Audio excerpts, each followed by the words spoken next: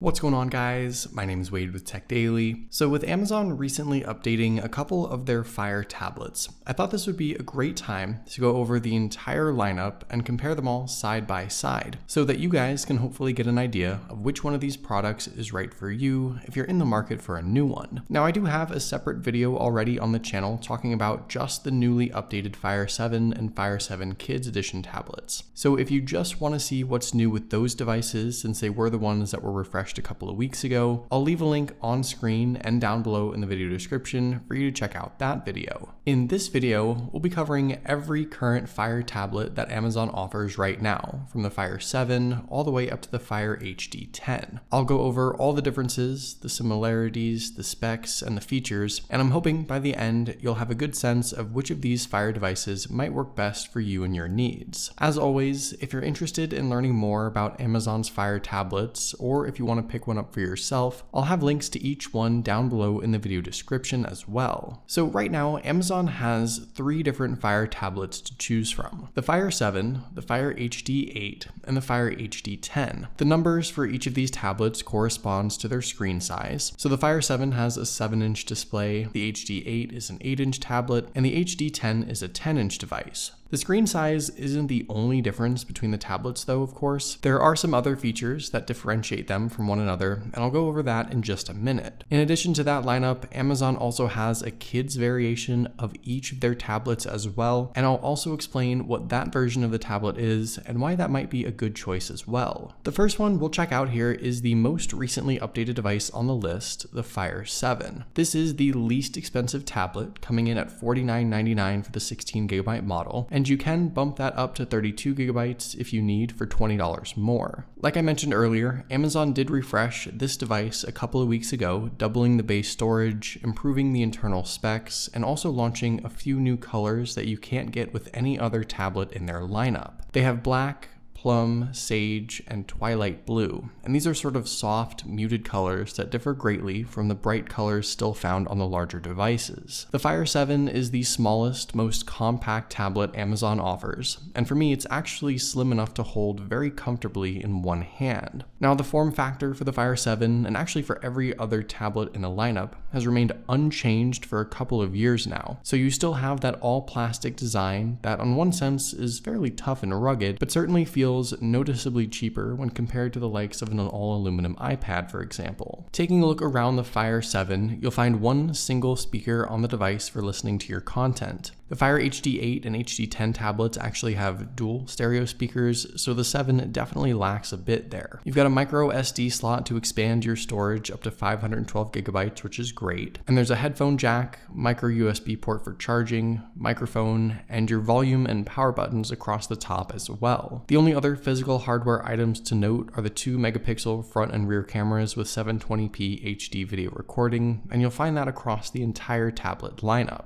Physically, the Fire 7 is basically identical to the HD8 and HD10 aside from the size. It's the internal specs and screen resolution where you'll really see the biggest differences. The Fire 7 packs a quad-core 1.3 GHz processor, the same as the HD8, but less powerful than what's in the HD10, and just 1 GB of RAM, lower than each of the other tablets. You'll also get 7 hours of battery life, which once again is lower than the other devices, and your viewing experience is limited limited to a 1024 by 600 resolution display. Now on paper, these specs make the Fire 7 appear a bit dated and underpowered, even with the recent refresh. But you have to keep in mind the price here. It's a $50 tablet, and at that price, it's more than usable for casual web browsing, streaming, and light apps and games. It's a fairly smooth user experience overall with Amazon's own Android Fire OS that's obviously very heavily focused on their content and services. But if you're already in engulfed in the Amazon ecosystem anyway and want an inexpensive tablet to just consume some content, this is a fairly good device. The screen resolution though is low, especially by today's standards. It's not even 720p, but movies and shows still look fine in my opinion. Again, it's a $50 tablet and you likely won't find much else to compete with it from a well-known company like Amazon. There's certainly more than a few reasons why this continues to be the best-selling tablet in the lineup. It is the most inexpensive media consumption device you can get right now, but if you want something bigger and better, you'll likely want to jump up to something like the Fire HD 8. This is Amazon's mid-level device that's slightly bigger, slightly better, and slightly more expensive, coming in at $80 for the base 16GB model. With that price, you're getting a bigger HD display, better internal specs, and a different color lineup as well. You've got the option to keep things simple with black, but Amazon also offers bright canary yellow, a more subdued marine blue, like I have here, and the vibrant punch red. Side by side with the smaller Fire 7 tablet, you can see that the Fire HD 8 is just marginally bigger. It's still a very compact device overall that once again feels great with one-handed use. But aside from the size difference, physically, you aren't going to see any major upgrades, improvements, improvements or differences from the 7. It's still the same all plastic build that Amazon is pretty well known for. The only thing you'll notice, like I said earlier, is now you get dual stereo Dolby Atmos speakers that are louder and sound better, of course, than the single external speaker on the Fire 7. Everything else, though, is exactly the same, including an expandable SD card slot that allows you to bump up your storage to 400 gigabytes. There's a headphone jack, micro USB port for charging, and all your buttons across across the top once again. The front and rear cameras are the same, 2 megapixel 720p for pictures and video, and the main reasons you might want to pick this tablet up over the 7, of course, are the screen and internal specs. Inside, the Fire HD 8 has the same quad-core 1.3 GHz CPU, but 1.5 gigabytes of RAM, a 33% upgrade, and up to 10 hours of battery life, versus just 7 on the Fire 7. Those may not seem like drastic improvements, but you'll definitely notice a fast faster, smoother experience with the HD8 over the 7 in everyday use. You're still not getting cutting edge specs, especially by 2019 standards, but apps will load a bit faster, the UI will be a bit snappier, and overall, the HD8 just packs a bit more for your everyday media consumption. You are still getting that same Amazon themed OS, of course, and for viewing your content, like the name suggests, you now have an HD display at a resolution of 1280 by 800. Compared to the Fire 7, the Fire HD8 has a larger, clearer, brighter display that makes content look noticeably better. And again, you've got to keep your expectations in check. It's still basically just a 720p display after all, but on a tablet that costs this little, you're getting a very good experience for casual media consumption. If you aren't ready to make the jump to the biggest and most expensive tablet in the lineup, I think the HD8 is a great compromise and is easily the best tablet device you can pick up right now for under 100 bucks.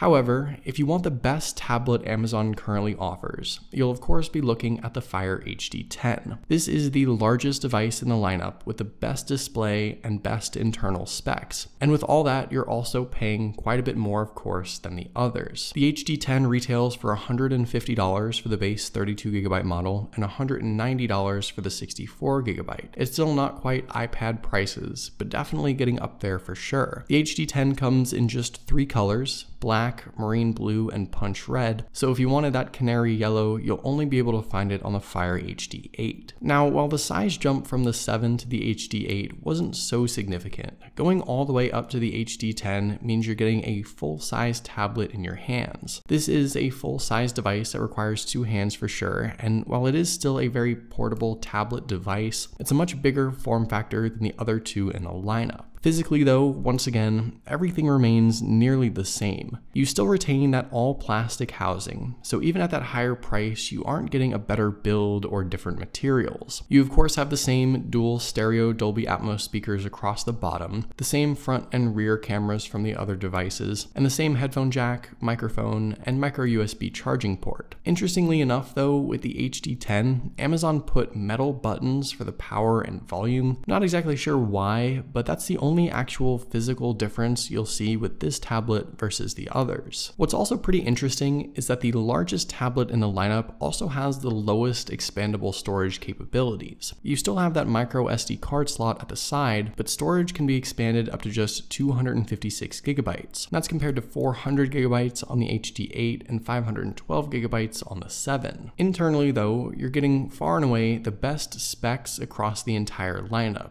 just as you would expect. Inside, there's a 1.8 GHz quad core processor and 2 GB of RAM. However, battery life is the same as the HD8, about 10 hours of use. Part of the reason why the HD10 doesn't get better battery life, even though it might be a bigger and better tablet, has to do with the better specs inside, but also the larger, higher resolution display it packs as well. The Fire HD10 offers a full 1080p HD display at a resolution of 1920 by 1200. It's the largest and sharpest display in the lineup, and if you care at all about how your content looks, this is going to be the tablet for you. Again, it is not going to compete with the likes of an iPad, but this is as good as it gets when it comes to Amazon's Fire tablets, and I think the 1080p display here is great for watching TV shows and movies or reading books. The viewing experience is solid, and the user interface is pretty smooth as well for navigating simple apps and browsing the web. Even with the full-sized, highest priced tablet,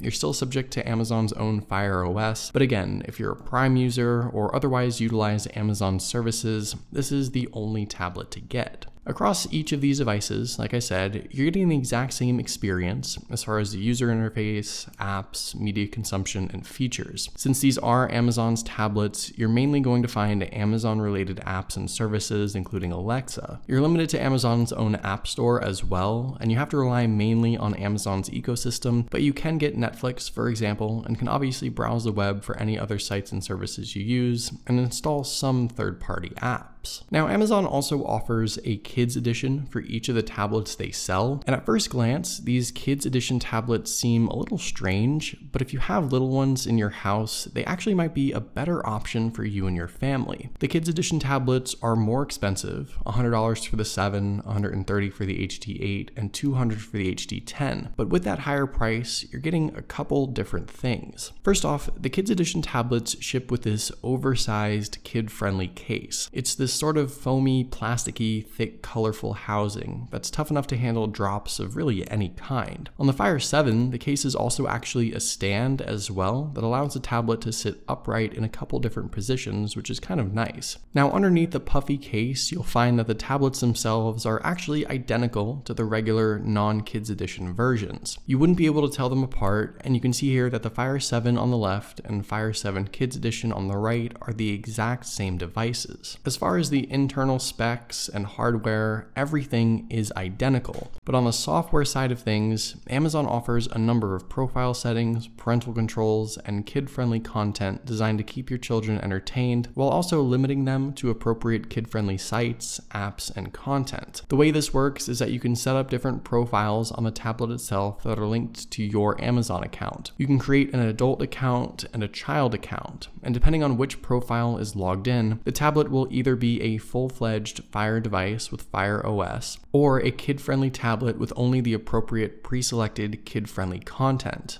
I personally think this is a great feature that Amazon offers because rather than having to buy two separate devices or worrying about your young children getting into apps or sites that are inappropriate on a full featured device, you can have them use their profile for the kid content and still use the tablet yourself when the kids are asleep under your own profile. The kids content that Amazon offers is about what you'd expect. Plenty of kid-friendly sites and apps like Disney, Nickelodeon, PBS, and other brands. There are videos, games, and other apps and content you can organize, delete, and add as you see fit. And when the kid's profile is logged in, you can't do anything else with a tablet like change the settings, view a full web browser, or install any apps. That is, until you log back into the main Amazon account. So that's great. And if you want to dive a little deeper, you can also adjust even more of the parental controls associated with the kids account, including enabling or disabling other features on the tablet like the camera, setting screen time, viewing device usage and history, and more. While Amazon's standard Fire tablets I think are a great value by themselves, the Kids Edition really might make a lot of sense for you and your family if you're okay with introducing some gadgets to your children. You've got a lot of control over the content they can consume, and the tablets themselves,